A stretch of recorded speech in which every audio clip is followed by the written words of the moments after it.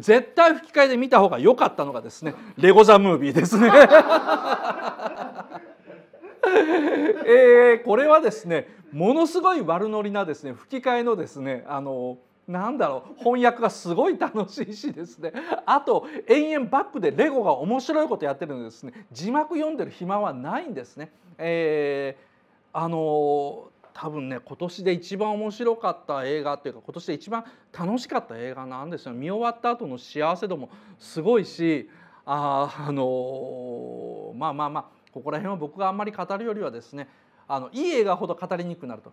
いい映画ほど語りにくくなる。そしてロボコップみたいなやつは覚えてないから語れないというやつです。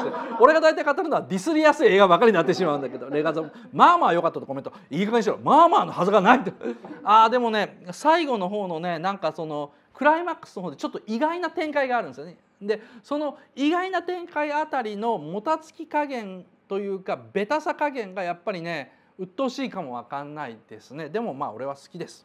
好きでいいのか。そう。ありのままでいいんだ。あ違う。レリゴー